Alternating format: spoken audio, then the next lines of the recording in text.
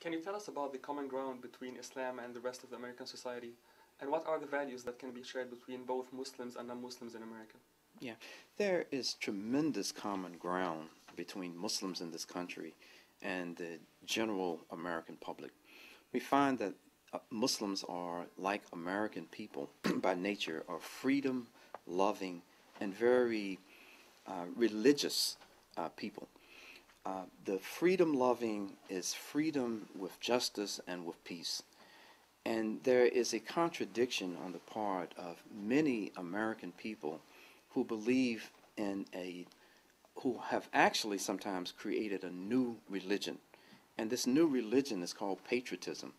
And with this new religion comes the idea that anyone who is critical of what the government does must be unpatriotic or that they don't show their love for this nation whenever we make criticisms. And because of the uh, theological emphasis in Islam on standing firmly for justice and speaking out against oppression, many Americans who believe in this religion of patriotism find that Muslims are somehow unpatriotic when we speak out against the excesses of government in this country.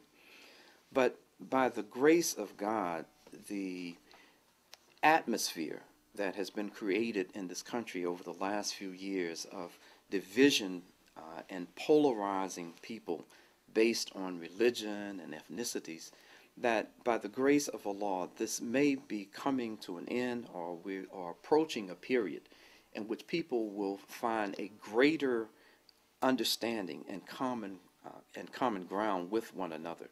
So Islam and the Muslim community in this nation, just as the Christian and the Jewish communities, if we adhere to the principles of our faith and not create this ultra nationalistic and this new religion of ultra patriotism, then we'll find the common areas in which we can function uh, and bring this nation together. How do you see the future of interaction between Muslims and non Muslims in America? And what do you think is the responsibility of each group in order to have a better understanding and deeper relations? Yeah.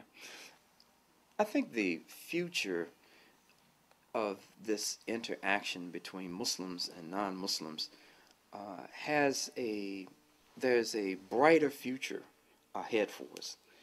I believe that like in any country, the leadership of the country sets a tone for how people are to view the world through what lens and prism do the people see the rest of the world. And in this country, unfortunately, uh, there has been a climate over the last few years that has been set that Muslims, basically every Muslim represents a potential threat to the Western way of life, whatever that may be at this point.